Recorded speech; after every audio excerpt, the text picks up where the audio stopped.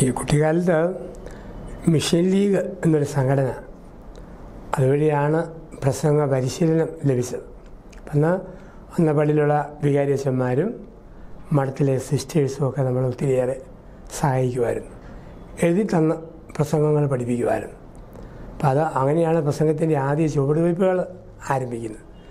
പിന്നെ ഒരു ഫലത്തിലേക്കൊക്കെ വരുന്നത് സ്കൂൾ വിദ്യാഭ്യാസ കാലം മുതൽ ഒത്തിരി ഇഷ്ടമായിരുന്നു മോണായിട്ട് കഥാപ്രസംഗം അതിപ്പോൾ മോണാറ്റ് ഇരുപത് മിമിക്രി ആയിട്ട് തോന്നുന്നു അപ്പം അങ്ങനെ ഒരു ക്യാരിസം ഡെവലപ്പ് ചെയ്തെടുത്തിരുന്നു. പ്രത്യേകിച്ച് കഥാപ്രസംഗം. കഥാപ്രസംഗം നമ്മൾ ഒരു അരമണിക്കൂർ പറയുമ്പം കഥയും പാട്ടും ഫലിതും എല്ലാം കൂടെ കോർത്തണിക്കാലേ അത് വിജയിക്കത്തുള്ളൂ. അവിടെ നിന്നാണ് ഒരു നർമ്മഭാവം കടന്നു വരിക. പിന്നീട് വളർച്ചയുടെ കാലങ്ങളിലൊക്കെ ആ അടിസ്ഥാന വാസന പ്രസംഗത്തോട് ചേർത്തു. അങ്ങനെയാണ് പ്രസംഗത്തിലൊക്കെ തമാശ കാരണം.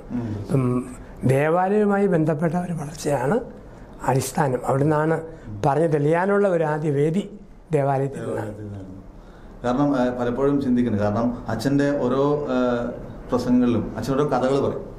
ആ കഥയ്ക്ക് ഒരു ഉപകഥകളുണ്ടാവും. കാരണം അത് എങ്ങനെ? എനിക്ക് തോന്നുന്നു അച്ഛനും പറഞ്ഞ പോലെ കഥാപ്രസംഗം എന്ന് പറഞ്ഞ പോലെ അല്ലെങ്കിൽ അച്ഛനിലെ ഒരു കലാകാരൻ അതായത് മോണാക്ട് എന്നൊക്കെ പറഞ്ഞൊരു ഇതിലേക്ക് അത് പ്രസംഗങ്ങളിലേക്ക് കൊണ്ടുവന്നാണ് എനിക്ക് തോന്നുന്നത്. കാരണം. അച്ഛൻ പറയുമ്പം അച്ഛൻ പറയുന്ന കഥകൾക്കകത്തുള്ള കഥാപാത്രങ്ങളെ നമുക്ക് വളരെ പെട്ടെന്ന് മനസ്സിലാക്കാൻ സാധിക്കുന്നുണ്ട്.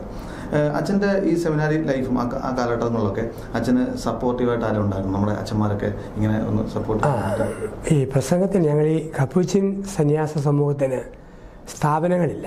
ഞങ്ങളെല്ലാവരും തന്നെ സുവിശേഷ പ്രസംഗകരാണ്. അപ്പം അങ്ങനെയുള്ള സുവിശേഷ പ്രസംഗകരായതുകൊണ്ട് പ്രസംഗത്തിന് വളരാനുള്ള ഒരുപാട് പരിശീലനങ്ങൾ പഠിക്കുന്ന കാലഘട്ടത്തിൽ തരും വലിയ ആവേശത്തോടെ പ്രസംഗിക്കുന്നവരുണ്ട്. ആഴമായ സന്ദേശം കൊടുക്കുന്നവരുണ്ട്. ഫലിതം കലർത്തി പറയുന്നവരുമുണ്ട്. അപ്പം അങ്ങനെ ഫലിതം കലർത്തി പറയുന്നവരുടെ പ്രസംഗമായിരുന്നു. ആൾക്കാർ പൊതുവിൽ ഒത്തിരി അവർ എൻജോയ് ചെയ്യുന്നതാണ് കണ്ടത്.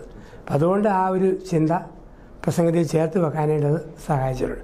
പിന്നെ എന്നും പ്രസംഗത്തിനും സുവിശേഷ പ്രസംഗത്തിനും ധ്യാന പ്രസംഗത്തിനും ഒക്കെ ഒത്തിരി ഊന്നൽ കൊടുക്കുന്ന ഒരു സന്യാസ സമൂഹമാണ് ഞങ്ങളുടേത്. ആ രീതിയിൽ വളരെ നമുക്ക് മറ്റ് സഭകളേക്കാൾ അവസരമുണ്ട്. അച്ഛൻ എവിടെ പ്രസംഗിക്കുന്നു? അവിടേക്ക് എനിക്ക് തോന്നുന്നു ഒരുപാട് ക്രൈസ്തവ ആൾക്കാർ വരുന്നുണ്ട്.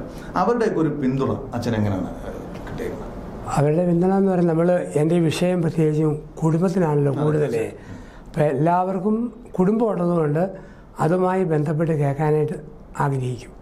അപ്പോൾ അവർ തന്നെ വിളിച്ച് പറയാറുണ്ട് വെച്ചാൽ ഞങ്ങളുടെ ക്ഷേത്രത്തിൽ ഒന്ന് വരാവോ?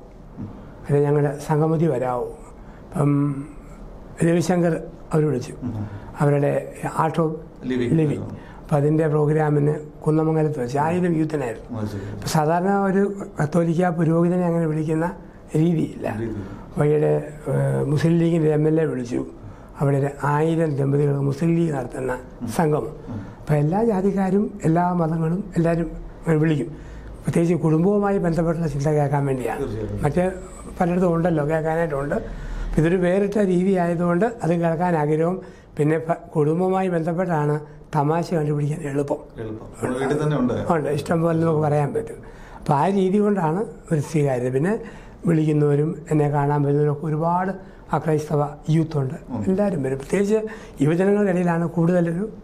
സ്വീകാര്യത കാണുന്നത്. പലപ്പോഴും ഞങ്ങൾക്ക് മനസ്സിലാക്കാൻ സാധിക്കുന്നുണ്ട്. കാരണം അച്ഛനൊരു ചെറുപ്പക്കാർ അതുപോലെ തന്നെ വളരെ കാരണം എനിക്ക് തോന്നുന്നത് പൊതുവെ നമ്മൾ പുരോഹിതന്മാരുടെ പ്രസംഗങ്ങളും കാര്യങ്ങളൊന്നും അങ്ങനെ ചെറുപ്പക്കാർ ശ്രദ്ധിക്കാതെ പോകുന്നൊരു സമയങ്ങളുണ്ട്. കാരണം അത് ഇനി എന്തെങ്കിലുമൊക്കെ ബൈബിളും കാര്യങ്ങളും. പക്ഷെ അച്ഛനെ സംബന്ധിച്ച് അച്ഛൻ ഒരുപാട് ഫാൻസ് ഉള്ളതൊക്കെ ചെറുപ്പക്കാരാണ്. അതുപോലെ തന്നെ അതുകൊണ്ട് തന്നെ ചോദിക്കുകയാണ്. ഇപ്പൊ നവമാധ്യമങ്ങൾ ഒരു മനുഷ്യന്റെ വിജയവും പരാജയവും നിർണയിക്കുന്ന ഒരു അവസ്ഥയിലേക്ക് എത്തിയിരിക്കുകയാണ്. ചിലർ ആത്മഹത്യയിലേക്ക് വരെ പോയിട്ടുണ്ട്. ചിലർ ജീവിതത്തിൽ ഒരുപാട് ബിസിനസ് ലെവലിലേക്ക് ഉയർന്നിട്ടുണ്ട് ഈ മാധ്യമങ്ങളിൽ. അപ്പോൾ അച്ഛന്റെ അഭിപ്രായം എന്താണ്? ഈ സോഷ്യൽ മീഡിയയുമായി ബന്ധപ്പെട്ട് ഉള്ള ചെറുപ്പക്കാരുടെ ഇപ്പോഴത്തെ ഒരു അവസ്ഥയെക്കുറിച്ച് അച്ഛൻ പറഞ്ഞു അതെ അത് എന്റെ ഒരു ചിന്ത ഈ സ്വർഗത്തിലേക്ക് ആരോഹണം ചെയ്ത ക്രിസ്തു ഒരു ദൗത്യം ഏൽപ്പിച്ചു. സകല ജനതകളോടും സുവിശേഷം പ്രസംഗിക്കുക. ഇന്നും നേരിട്ട് വന്ന് ഒരച്ഛന്റെ പ്രസംഗം അല്ലെങ്കിൽ ആത്മാവിലൂടെ പ്രഘോഷിക്കപ്പെടുന്ന വചനം കേൾക്കുന്നവർ അപ്പസോലിയ കാലത്തെ പോലെ തന്നെ അത് കേൾക്കും. കാലാനുസൃതമായിട്ട് അത് മാറ്റാൻ പറയുന്നതാണ് നവമാധ്യമങ്ങളിലൂടെ പ്രഘോഷിക്കപ്പെടുന്ന വചനങ്ങളൊക്കെ ആയിട്ട് അപ്പം ഇന്ന് ഇനിയുള്ള കാലം അങ്ങനെ ഒരു കാലമായിട്ട് മാറുന്നു. ഇപ്പം യൂറോപ്യൻ രാജ്യങ്ങളിൽ അമേരിക്ക ഗൾഫ് തിരക്ക് പിടിച്ചിടത്തൊക്കെ ഇരിക്കാൻ പറ്റാത്തവർ ഇങ്ങനെയും കേട്ടുകൊണ്ട് വരുന്നുണ്ട്. അപ്പം ഇതിനകത്ത് നന്നായിട്ട് ഉപയോഗിച്ചാൽ ഒരു വലിയ വളർച്ചയ്ക്ക് ഇത് കാരണമായിട്ട് മാറും. നെഗറ്റീവായിട്ട് ഉപയോഗിച്ചാൽ അതായിട്ട് മാറും.